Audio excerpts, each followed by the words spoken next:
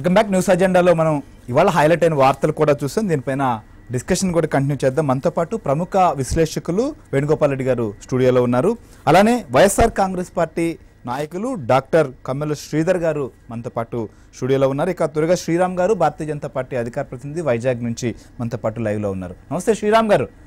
Sir ముఖ్యంగా ఏదైతే కేంద్ర ప్రభుత్వం ఇచ్చినటువంటి సడలింపుల నేపథ్యంలో చాలా రాష్ట్రాల్లో అనేక దుకాణాలు కూడా తెరుచుకున్నాయి. అట్లనే ఆంధ్రప్రదేశ్లో కూడా మనం చూసాం. అయితే మద్యం విషయంలోకి వచ్చేతలకే కొంత అక్కడ సోషల్ డిస్టెన్స్ అనేది ఏదైతే పాటించట్లేదు భౌతిక దూరం లేకుండానే పెద్ద ఎత్తున క్యూలో ఉంటున్నటువంటి పరిస్థితి కూడా మనకు కనిపిస్తుంది. సో ఎందుకు ఇలాంటి పరిస్థితి ఉంది? ఎక్కడ లోపం ఉంది? అంటే ఇన్ని రోజులున్నా కూడా ప్రజలకు అవగాహన లేదా? లేకపోతే దీని నిర్వహణలో ఉన్నటువంటి లోపమా? ఎలా చూస్తారు? కేంద్రం కేవలం మార్గదర్శకాలు మాత్రమే రిలీజ్ చేస్తుంది. అంటే ఎక్కడైతే గుంపులు గుంపులుగా జనాలు గుమ్మిగూడే అవకాశం లేదో అటువంటివన్నీ కూడా రిలాక్స్ చేయడం జరిగింది. అందులో కొన్ని వన్ టూ త్రీ ఫోర్ ఇలా లెక్కేసుకుంటే కొన్ని వందల మార్గదర్శకాలు అన్ని సడలింపులు ఇచ్చింది. అందులో మద్యం అనేది ఒకటి. అయితే ఈ రాష్ట్రంలో మద్యం అనేది ప్రత్యేక పరిస్థితులు ఈ రాష్ట్రంలో ఉన్నాయి ఎందుకంటే కారణం ఈ రాష్ట్ర ముఖ్యమంత్రి విడతల వారీగా మద్యాన్ని పూర్తిగా నిషేధిస్తాను అని చెప్పారు కాబట్టి ఈ మిగతా చోట్ల లేని చర్చ మన రాష్ట్రంలో జరుగుతోంది. అయితే మన రాష్ట్రంలో ఈయన ఈరోజు మళ్ళీ ఒక మంచి అవకాశం వచ్చింది. ఎందుకంటే ఈయన ఏం చెప్పారంటే విడతల వారీగా తీసేస్తాను మూడు విడతల్లో తీసేస్తాను అని చెప్పారు. ఆల్రెడీ ఒక విడత అయిపోయింది రెండో విడత మనకి గ్యాప్ వచ్చేసింది ఆల్రెడీ దీన్ని కనుక కంటిన్యూ చేసి నేను ఇలాగ ఎలాగా చెప్పాను కాబట్టి దీన్ని ఇక్కడి నుంచి ఇలా కంటిన్యూ చేస్తానంటే కనుక జగన్మోహన్ రెడ్డి గారికి చాలా మంచి పేరు వచ్చి ఉండేది. అయితే ఆయన అవకాశాన్ని ఈరోజు కోల్పోయారు ఇది కేవలం అమ్మఒడికి ఇచ్చిన డబ్బులు నాన్న జేబుల్లోంచి కొట్టేసే కార్యక్రమమే ఈ మధ్య ఏదైతే షాపులు తెరిచారో మరి కర్ణాటకలో కూడా తెరిచారు మీరు అధికారంలో ఉన్న రాష్ట్రంలో. కొట్టేసే కార్యక్రమం. మీరు కర్ణాటకలో తెరిచారు ఢిల్లీలో తెరిచారు చాలా చోట్ల చాలా రాష్ట్రాల్లో అక్కడ తెరిచారు. అక్కడ ఏమి మేము ఆంధ్రప్రదేశ్లో మద్య కూడా అదే నిషేధం విధంగా చేస్తామని తెరిచారు. చెప్పి ఎక్కడ అక్కడ ఎవరు అక్కడ ప్రకటన అక్కడ ఏ చేయలేదు. జేబులో తీయాలనుకున్నారు నేను చెప్పేది అర్థమైనట్టు ఇక్కడ మిగతా రాష్ట్రాలకి మన రాష్ట్రానికి తేడా ఏంటంటే మన రాష్ట్రంలో మద్య నిషేధాన్ని పూర్తిగా అమలు చేస్తాం విడతల వారీగా అని చెప్పి ముఖ్యమంత్రి చెప్పి అధికారంలోకి వచ్చారు. మిగతా రాష్ట్రాల్లో అలా చెప్పే అధికారంలోకి ఎవరు రాలా? అనేక మనకి అన్ని రాష్ట్ర దేశం మొత్తం మీద ఇరవై నాలుగు రాష్ట్రాలు ఉన్నాయి. ఇరవై నాలుగు రాష్ట్రాలు ఓపెన్ చేశారు. అది కాదు సమస్య. రేపు పొద్దున్న తెలంగాణలో ఓపెన్ చేస్తారు. అదేం పెద్ద సమస్య అవ్వదు. ఎందుకంటే గతంలో నడిచింది ఇప్పుడు కూడా మళ్ళీ నడుస్తుంది. కానీ ఈయన ఏదైతే ఒక విధానాన్ని పెట్టుకున్నారో ఆ విధానాన్ని చూసి అందరూ ఏమనుకున్నారంటే ఈయన ఇక తీసేస్తారు మధ్యాహ్నం అనుకున్న సందర్భంలో ఆయనకు ఒక మంచి అవకాశం వచ్చింది. ప్రభుత్వం ధరలు పెంచింది అందుకేనంట. ధరలు పెంచడం వల్ల కొనేవాళ్ళు తగ్గుతారు. తద్వారా కొంతవరకు కూడా కంట్రోల్ చేయొచ్చు ఏ ఏం కంట్రోల్ చేశారు? మీ టీవీలో మీరే రిపోర్ట్ చేశారు కదా? ఎంత ఎంత క్యూలు ఉన్నాయో ఎలా కొట్టుకున్నారో ఒకళ్ళ మీద ఒకళ్ళు డిస్టెన్స్ లేకుండా ఎలా మీద పడి ఎవరికి వాళ్ళు పోటీలు పడ్డారో మీ టీవీలో కూడా చెప్పారు కదా? అంటే ఈ ముఖ్యమంత్రి ఈ ప్రభు జగన్మోహన్ రెడ్డి ప్రభుత్వం అంచనా వేయడంలో పొరపాటు పడింది తప్పడడుగు వేసింది. ఇప్పుడు గతంలో బ్రెజిల్లో ఒక అధ్యక్షుడు ఉన్నాడు. ఆయన కరోనాను పట్టించుకోకుండా వదిలేశాడు. ఆటోమేటిక్గా వా- వాళ్ళకే హైడ్ ఇమ్యూనిటీ వస్తుంది. వాళ్ళంతటా వాళ్ళు బతికిన వాళ్ళు బతుకుతారు పోయిన వాళ్ళు పోతారని అసలు ఏం పట్టించుకోకుండా వదిలేశాడు. ఒక మంత్రి గారు దీనికి సోషల్ డిస్టెన్స్ పాటించండి ఇవన్నీ చెప్తే ఆయన తీసేది కూడా తీసేసాడు అక్కడ బ్రెజిల్లో. అలాగే ఇక్కడ జగన్మోహన్ రెడ్డి గారు కూడా ఈ కరోనాని ఎలాగైతే లైట్గా పారాసెటమాల్ అని బ్లీచింగ్ పౌడర్ అని ఇలా ఫ్లూ లాంటిది ఎలా వచ్చి అలా పోతుందని ఎలా లైటర్ వేలో తీసుకున్నారో ఇప్పుడు ఈ మద్యం విషయంలో కూడా రోడ్డు మీద ఎంతమంది క్యూలు ఉన్నా నాకు అనవసరం. ఎంతమంది సోషల్ డిస్టెన్స్ పాటించకపోయినా నాకు అనవసరం. ఇక నాకు నా రాష్ట్రానికి నా ఖజానాకి డబ్బులు వస్తే చాలు అన్న విధానంలో ఈ ముఖ్యమంత్రి వెళ్తున్నారు కాబట్టి ఇప్పుడు ఈ ప్రాబ్లం. అదే మీరు కేంద్ర మార్గదర్శకాల ప్రకారం నడుచుకుంటే ఐదుగురు కన్నా ఎక్కువ మంది ఉండకూడదు కదా అక్కడ. షాపు దగ్గర ఐదుగురు కన్నా ఎక్కువ మంది ఉంటే వెంటనే అక్కడ ఏమైనా గొడవలు జరిగితే లేకపోతే ఒకళ్ళ మీద ఒకళ్ళు పడితే సోషల్ డిస్టెన్స్ పాటించబోతే వెంటనే షాపులు మూసేయాలని మరి మార్గదర్శకాలు ఉన్నాయి కదా.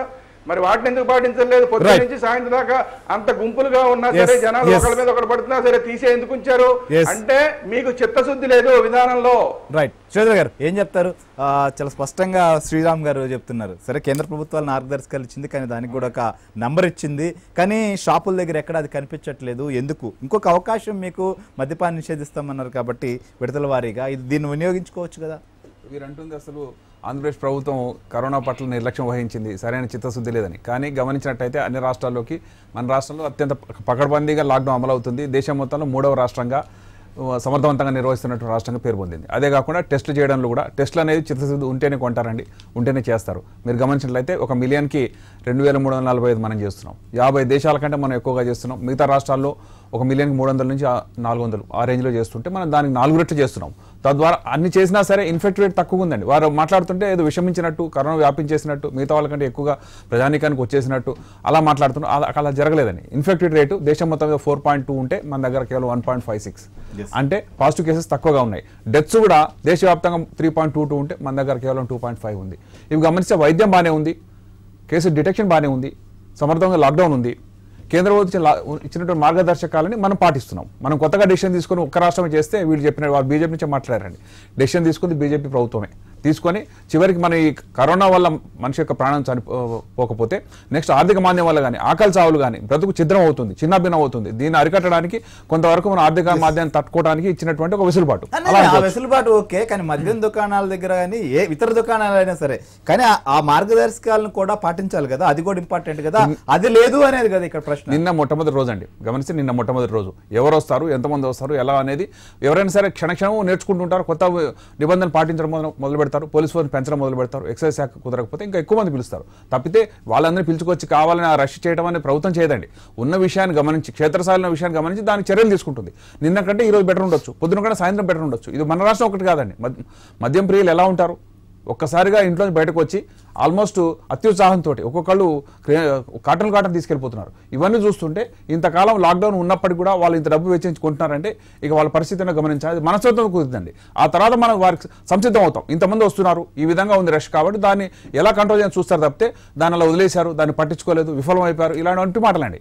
ఎవరైనా సరే నేర్చుకుంటారండి. ప్రతిరోజు ప్రతి గంట మనం నేర్చుకో ప్రతి నిమిషం నేర్చుకోగలగాలి.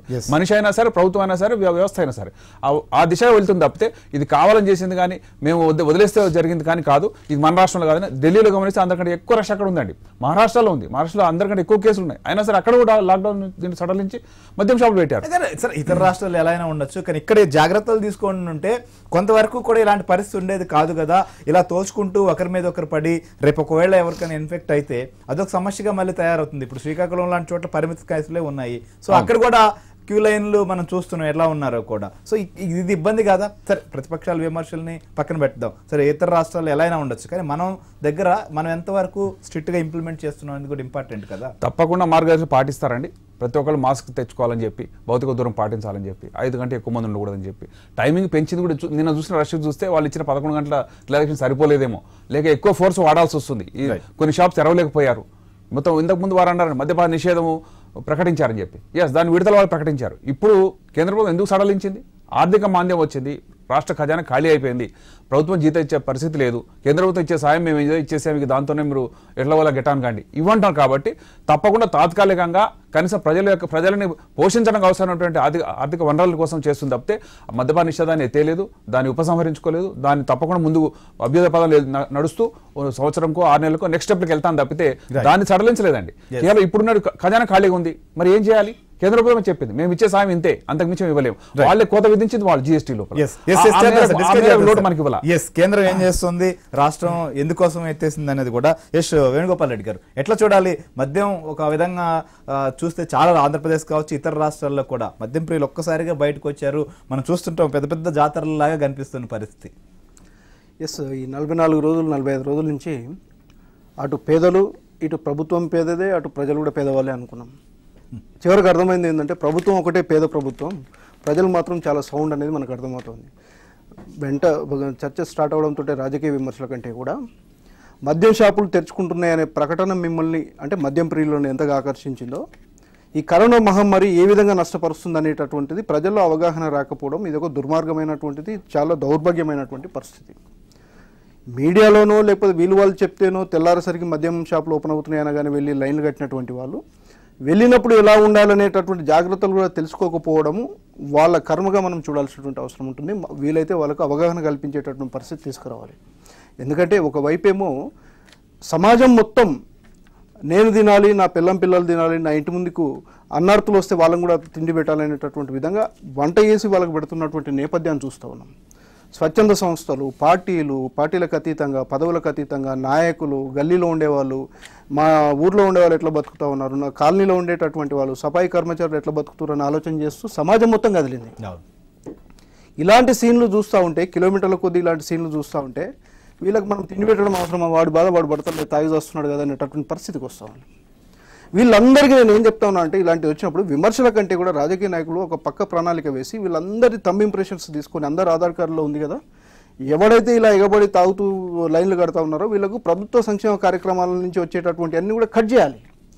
ఏ- ఏంటండి ఈ నలభై నాలుగు రోజులు ఆగినటువంటి వాడు ఒక రోజు రెండు రోజులు ఇవ్వాలి కాకపోతే రేపు రేపు కాకపోతే ఎల్లుండి క్లియర్ అవుతుంది అనేటటువంటి పరిస్థితి అవగాహన లేకుండా కనీసం మాస్క్ కట్టుకోకుండా ఒక్కొక్క ఇప్పుడు ఏమన్నా అంటే ప్రభుత్వాన్ని విమర్శిస్తాం పోలీసులను విమర్శిస్తాం ఇంకొకరిని తిడతాం ఎక్సైజ్ వాళ్ళని తిడతాం అవగాహన లేదా?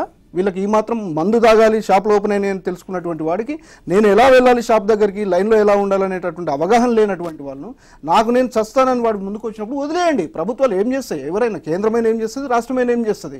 ప్రజల్లో అవగాహన ఉండాలి కదా. అది పక్కన పెట్టేసేసి ఆరోపణలు చేసుకుంటూ కూర్చో ఉంటే అందరూ ఇంకా దీనికి మించినటువంటిది ఏం లేదు. వీళ్ళు కేంద్రం మీద కేంద్రం రాష్ట్రం మీద ఇది కాదు మనకు. ప్రజల్లో అవగాహన కల్పించడానికి అవసరమైనటువంటి చర్యలు చేపట్టాల్సినటువంటి విధంగా ఉంది. అవసరమైతే వాళ్ళని కట్టడియాల్సినటువంటి అవసరం ఉంది. తమ్ ఇంప్రెషన్ ఇవ్వాలా?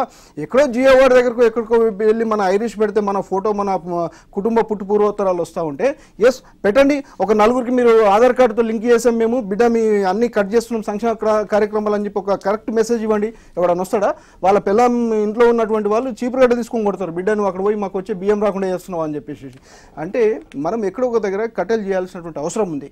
ప్రభుత్వాలు నెత్తి నోరు మొత్తుకుంటున్నాయి. ప్రధానమంత్రికి ఏం అవసరం అండి? చేతులు ఎత్తి దండం పెట్టి ప్రజలను వేడుకుంటా ఉన్నాడు. ఇద్దరు రాష్ట్ర ముఖ్యమంత్రులు తెలుగు రాష్ట్రాల ముఖ్యమంత్రులు మంత్రులు ప్రజాప్రతినిధులు దండం పెట్టి వేడు వేడుకుంటా ఉంటే అయినా ప్రజలకు ఎక్కట్లేదు అంటే కనుక వీళ్ళకి ఏం అర్థమైపోయింది? ప్రపంచంలో అంతటా చచ్చిపోతురట మా దగ్గర ఏం కావట్లేదు అనే పరిస్థితికి వచ్చారు. అంటే ప్రభుత్వాలు ఇంతకాలం చిత్తశుద్ధితోటి చేసినటువంటి మంచి పనులు ఈ- ఈ వ్యాప్తి చెందకుండా తీసుకున్నటువంటి జాగ్రత్తలు ఇవన్నీ పక్కకు పోయి ఖచ్చితంగా ఈ మద్య మద్యం షాపుల దగ్గర ఏదైతే క్యూ లైన్లు కిలోమీటర్ల మేర ఉన్నాయో నిన్న అన్ని ఇష్యూస్ మనం కనుక సోషల్ మీడియా మీడియాలో చాలా తక్కువ సోషల్ మీడియాలో ఇంకా ఎక్కువ. అవన్నీ కనుక జరిగితే. మళ్ళీ సంఖ్య ఈ ఇంతవరకు ఈ నలభై నాలుగు రోజులు వచ్చినటువంటి కేసుల కంటే కూడా ఇప్పుడు మనం ఏమనుకుంటున్నాం? వారం రోజులకు డబ్బులు అవుతున్నాయి పది రోజులకు డబ్బులు అవుతున్నాయి పన్నెండు రోజులకు డబ్బులు మూడు నాలుగు రోజులకు కూడా ఈ ఉన్న సంఖ్య మొత్తంగా డబ్బులు అయ్యేటటువంటి ప్రమాదకర పరిస్థితి.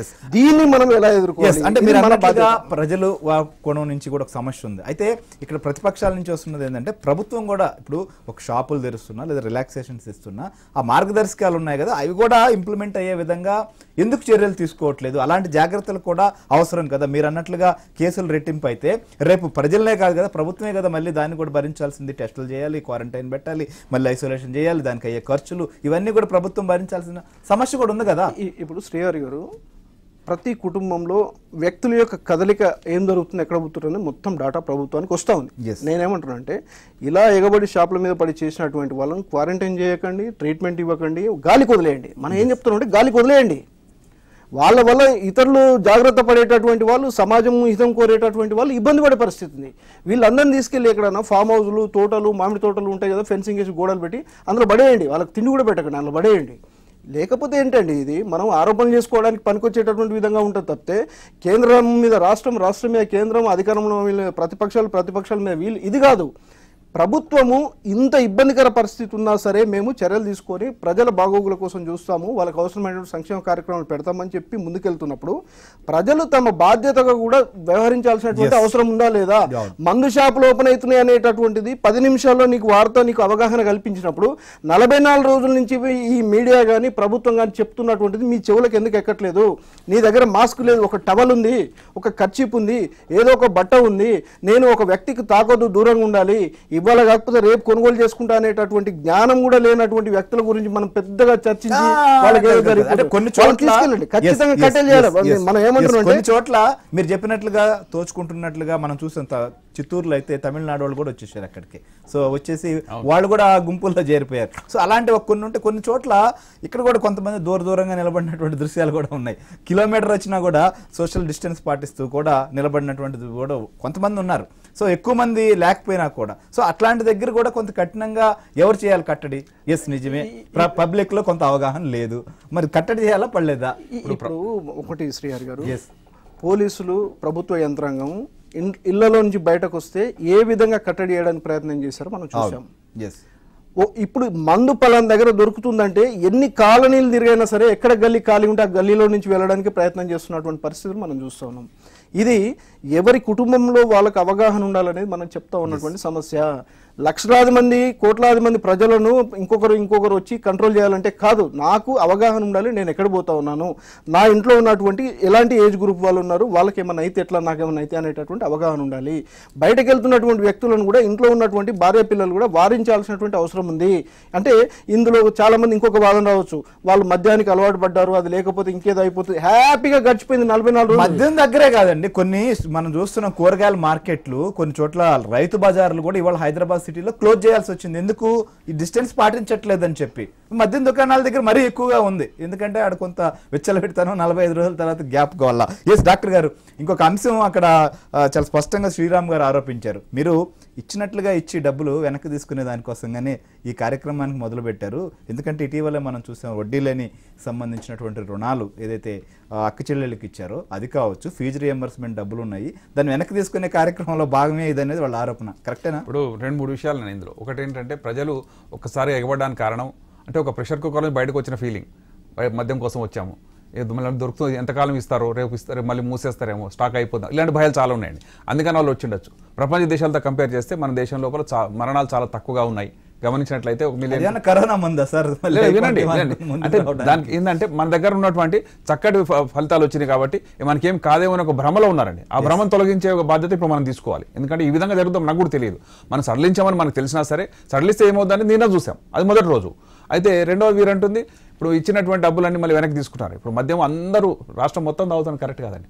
మద్యం మద్యం ఎవరు తాగుతున్నారు? కొంత పర్సంటేజ్ ఎవరికి ఇష్టం వాళ్ళు తాగుతున్నారు. ఆ తాగే వాళ్ళకి తెలుసండి వాళ్ళు ఏ విధంగా డబ్బులు నష్టపోతున్నారని చెప్పి. ఆ కుటుంబాలని చాలా వరకు చైతన్యంతం చేస్తున్నాం వాళ్ళని ఆపడానికి ట్రై చేస్తున్నాం. అయినా సరే కొంతమంది ముందుకు వస్తున్నారు.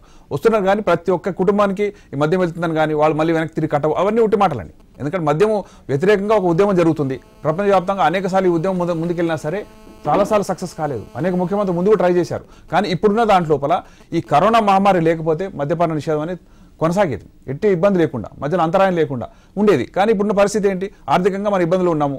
కాబట్టి కొంత ఖజానికి రెవెన్యూ రావాల్సి ఉంది. రాష్ట్రం యొక్క ఆదాయంలో చాలా వరకు ఫార్టీ నుంచి ఫిఫ్టీ పర్సెంట్ ఇదే ఉంది. మరి ప్రజలను ఆదుకోవాలన్నా ఏ సంక్షేమ పథకాలు కనీసం పట్టడం అన్నం పెట్టాలన్నా సరే మన డబ్బు కావాలి. ఆ డబ్బుని సమకూర్చే కార్యక్రమం తప్పితే తాగమని కానీ తాగించాలని కానీ తాగే మందు మందుబాబుని పెంచాలని కానీ ఏ ప్రభుత్వానికి ఉండదండి. వారు చెప్పిన ఆరోపణ కరెక్ట్ కాదు. కేవలం ఒక రెండు మూడు రెండు నెలలు మూడు నెలలు ఏదైతే కంట్రోల్కి వచ్చిన తర్వాత మళ్ళీ మీరు మీరు చెప్పిన మాట కరెక్ట్. ఎందుకంటే మద్యం తాగని వాడికి ఎవరు తాగించమని ఇళ్ళ ఇళ్ళకెళ్ళి సప్లై చేయట్లేదండి. ఎలాగైతే మొబైల్ రైతు బాధని అలా మద్యం ఇవ్వట్లా. కొంతమంది ఏమంటారు ఇంత రష్ చూసిన తర్వాత ఇంట్లోకి బంద్ చేస్తే బాగుంటుందేమో అలా కాదు అలా వెళ్ళడానికి కుదరదు. ఎందుకంటే ప్రతి ఇంట్లో ఇల్లు తాగేవాళ్ళు ఉండరు. వచ్చిన వాళ్ళని నిన్నటి కంటే ఈ రోజు బెటర్గా ఉంటుంది తప్పకుండా. పరిస్థితి కూడా ఒకవేళ కొన్ని. చేసేస్తే అక్కడ మళ్ళీ వచ్చే పరిస్థితి కూడా ఉండదు. ఎందుకంటే కేంద్రం నిబంధనలు కూడా ఉన్నాయి కదా. పొద్దున కంటే సాయంత్రం. చాలా బెటర్ ఉందని రిపోర్ట్ ఉందండి. పొద్దున కంటే సాయంత్రం భౌతిక ఉదయం పాటిస్తున్నారు. పోలీస్ ఫోర్స్ పెరిగింది. లాఠీ చార్జ్ చేయొచ్చండి. మందు కోసం వచ్చినవాడు ఎలాగో లాఠీ చార్జ్ చేసినా తట్టుకుని అక్కడే ఉంటాడు తప్పితే ఇంటికి పోడు. కాబట్టి ఆ వాళ్ళ యొక్క అత్యుత్సాహాన్ని మనం దాన్ని విచ్చలవిడితనాన్ని మనం అరికట్టాలి. Right. తద్వారా మాస్కులు కావాలని చెప్పారండి. మాస్కులు సప్లై చేసే పద్ధతి కూడా ఉంది. ఎందుకంటే అక్కడ ఉన్న వాళ్ళు కనీసం ఒక రుమాలు కూడా కట్టుకోలేని వాడు ఉంటే కనీసం మాస్కులు సప్లై చేద్దామా అనే ఒక ఆలోచన ఉంది. మూడు మాస్కులు ఏవైతే ఇవ్వాల్సి ఉందో అవన్నీ కనీసం కట్టుకుని రండి అని చెప్పి ప్రాధాయపడుతున్నాం. ప్రస్తుతం ఉన్నదంటే మందు కోసం ఎన్ని ఎంత ఎన్ని జాగ్రత్తలు అయినా సరే విడనాడు